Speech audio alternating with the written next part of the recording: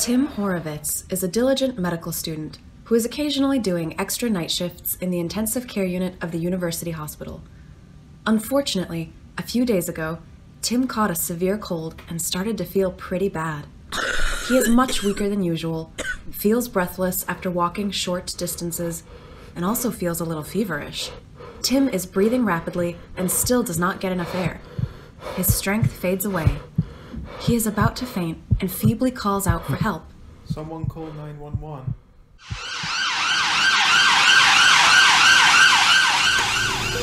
Please tell me what happened. Mr. Horvitz is a 24 year old male patient who has been found in unstable condition on the stand of a football field with dyspnea, coughing, confusion, and sweating. Mr. Horowitz reported fever, shivering, and purulent sputum for the past two days. His current body temperature is 40.5 degrees Celsius. Bilateral coarse crackling can be heard over the basal lung areas during auscultation. Vital signs are significant for hypotension, tachycardia, tachypnea, and an oxygen saturation of only 89%. Leukocytes and C reactive protein are elevated. Chest x ray shows bilateral infiltrates. We've started supplemental oxygen therapy. I suspect he suffers from pneumonia, maybe even acute respiratory distress syndrome. We've had a couple of severe pneumonia cases recently. Indeed, Mr. Horvitz is in a very severe situation. He's deteriorating as we speak. We need to provide respiratory support and please prepare for immediate intubation. Please transfer him to the ICU and start calculated antibiotic therapy. Hey Anne, can you tell me the possible causes of ARDS? Do you actually know how ARDS was defined nearly 25 years ago? Anne remembers her professor speaking about ARDS causes.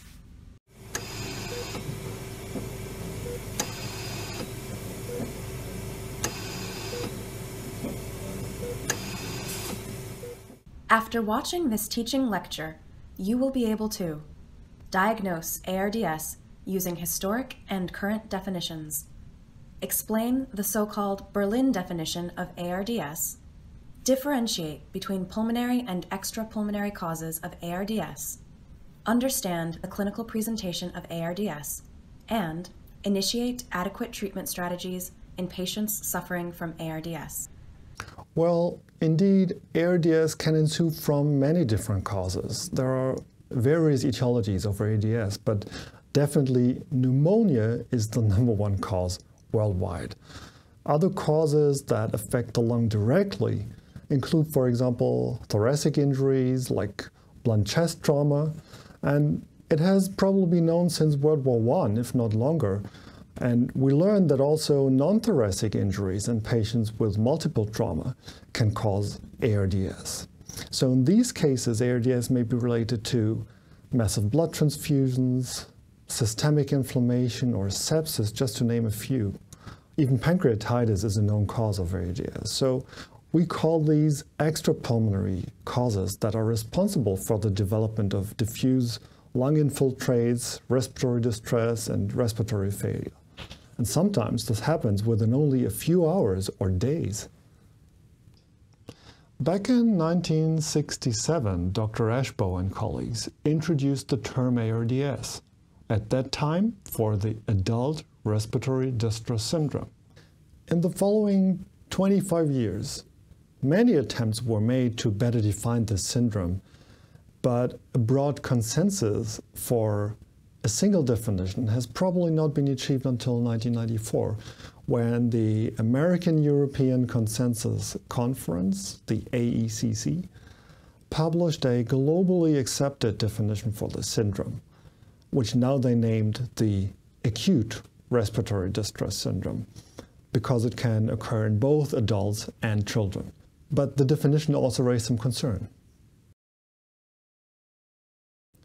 The AECC definition required an acute onset of respiratory distress, but the time frame for this acute onset remained elusive. The definition included a certain degree of hypoxemia, defined by the ratio of arterial oxygen tension and inspired fraction of oxygen, the PaO2-FiO2 ratio. However, this ratio can vary largely depending on the ventilator settings that are being used. The definition included X-ray diagnosis of lung infiltrates, a diagnostic tool with limited reliability from one rater to another. The definition also required pulmonary wedge pressures of below 18 centimeters of water, but measuring wedge pressures requires sophisticated technical equipment. So the insertion of a pulmonary artery catheter may not be available in a number of ICUs. Some of these concerns were addressed by the Berlin definition. That was in 2011 when a panel meeting of the ARDS definition task force was arranged in Berlin. So that task force reviewed available data, clinical and experimental, uh, in an effort to address some of the limitations of the AECC definition and to forge a new and better definition of ARDS. As a result, the so-called Berlin definition of ARDS was published in 2012 it is endorsed by critical care societies across the globe, and this is how we define ARDS today. The panel agreed that ARDS is a type of acute, diffuse inflammatory lung injury leading to increased pulmonary vascular permeability, increased lung weight, and loss of aerated lung tissue. The clinical hallmarks are hypoxemia and bilateral radiographic opacities associated with increased venous admixture, increased physiological dead space, and decreased lung compliance. In order to memorize the details of the Berlin definition of ARDS, imagine an office room with an open window, a calendar on the wall, a lung-shaped tree, and a watering can on an office desk, as well as a piano. The Berlin definition is defined by five major criteria that are timing, chest imaging, origin of the edema, oxygenation, and ARDS severity. The calendar represents the timing criteria. The onset of ARDS is defined as within one week of a known clinical insult or new or worsening respiratory symptoms. The chest imaging and origin of edema are represented by the plant and the watering can. Bilateral opacities indicating pulmonary edema on chest radiograph, or CT, are defining criteria of ARDS. Imagine oxygen flowing through the open window into the office room. This represents the oxygenation criteria of the Berlin definition. ARDS is defined by a PaO2 to FiO2 ratio of less than 300 millimeters of mercury with a minimum positive end expiratory pressure of at least 5 centimeters of water. The term acute lung injury from the AECC definition was removed from the Berlin definition. Finally, let's take a look at the piano in the room. The ARDS severity is categorized by the PaO2 to FiO2 ratio, which is also known as the Horowitz index. Three ARDS severity categories were defined based on patients' PaO2 to FiO2 ratio. Mild ARDS is defined by a P to F ratio of 200 to 300 millimeters mercury. Moderate ARDS is defined by a P to F ratio of 100 to 200 millimeters of mercury. Severe ARDS is defined by a P to F ratio of less than 100 millimeters mercury.